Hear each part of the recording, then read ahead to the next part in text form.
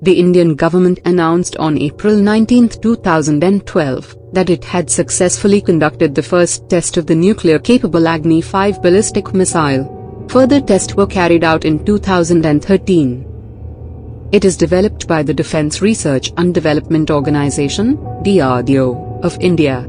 Agni 5 is part of the Agni series of missiles, one of the missile systems developed under Integrated Guided Missile Development Program. It is the first Indian ballistic missile capable of reaching almost the entire Chinese landmass, including Beijing as well as the Middle East. India was already capable of reaching all of Pakistan, with previous versions of Agni missiles. Here is the specifications of the missile.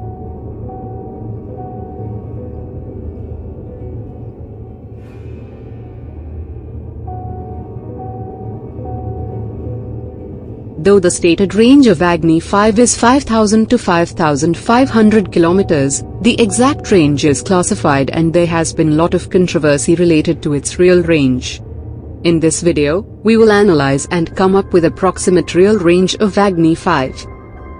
This is done through two procedures, which are as follows. 1. Location, start and end point. 2. Speed and duration. So let's get started. As per the report, Agni 5 was launched from Wheeler Islands, Odisha, and splashed down was somewhere along the southern tip of Africa or Australia. Let us use the Google map to plot stated paths and get the distance traveled. 1. Wheeler Islands to southern tip of Africa. 2. Wheeler Islands to southern tip of Australia. As you can see, the average distance is 8000 kilometers. Let us now move to the second technique of determining the range.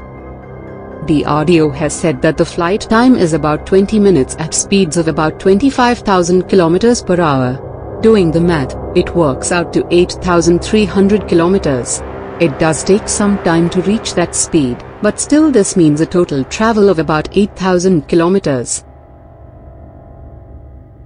As per both the procedures, the approximate average range of Agni 5 comes to be 8,000 kilometers. We know China has monitoring station on Coco Islands, and have been monitoring the missile by satellites and sea-based radars on their naval assets. Just after the test, Chinese officials said that they think the range of Agni 5 is 8,000 kilometers. For India to have true deterrence against China, it should be able to fire a missile from its southernmost tip, that is Kanyakumari to the northernmost point in China. This distance is nearly 7,000 kilometers. There is no point in having a missile which has a range of 5,500 kilometers as it will have to be kept in northern India and will be susceptible to first strike by China, as the approximate location can be predicted.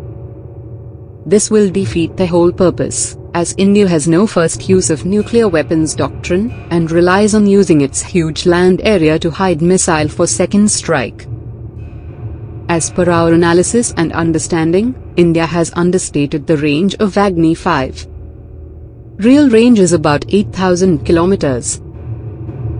India will continue to keep ambiguity over the range of the missile, probably to address the Western audience who may feel uncomfortable with India's ability to reach their shores. Thanks for watching. Subscribe for more videos like this. Hit the like button if you find the video interesting. Kindly provide your feedback in the comment section, this will help us improve.